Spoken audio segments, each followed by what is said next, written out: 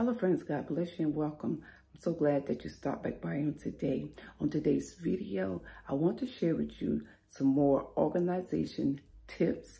I found some more organization containers at Walmart for my upper cabinets. And as many of you have saw my videos, I've been working on my upper cabinets with the organizations. But this time, I found some deals. So I'm going to share with you today some great deals. So I thank you once again for stopping by. Please don't forget to like, comment, and subscribe. I thank God for every one of you. And I pray that you have a blessed week, a blessed day. Always pray and seek the Lord and never faint. Y'all have a blessed day. This is an unboxing of some containers I bought from Walmart online. I was in the store one day and I was looking for the home and garden containers because I wanted to complete organizing my upper cabinets. So when I scanned the barcode, it told me online that it had four of these containers at $23. Friends, I was so surprised because I spent so much money on these.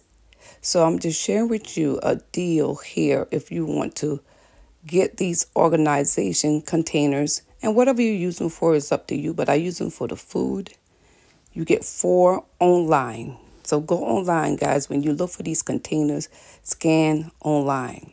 And also in this store, Walmart has these containers as a set. So I don't know if this is a holiday deal special, but guys, go and grab them.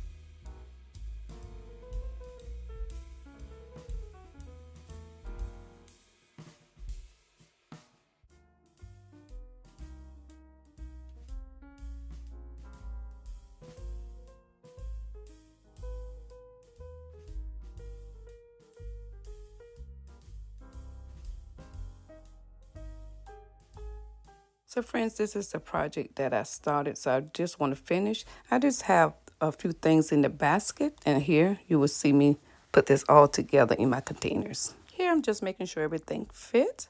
Always keep your receipts because sometimes they just don't fit. But it does fit. These are stackable containers.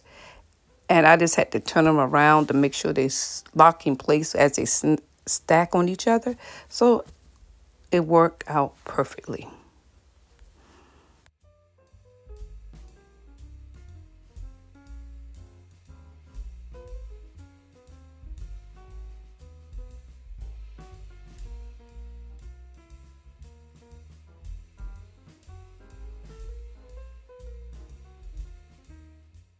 I'm using this for a lot of snacks because we lost a lot of snacks.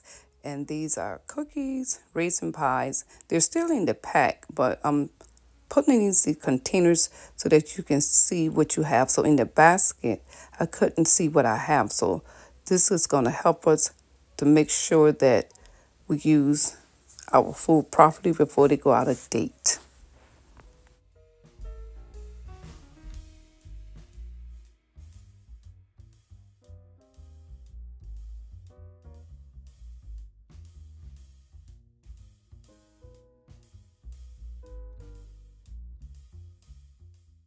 So friends, here is the reveal. It looks so much better. Now I can see all my food and it is protected. And also, I have to go back and write the dates. So don't forget to put the dates under these containers. Thank y'all so much for watching. And please do not forget to subscribe, like, and comment.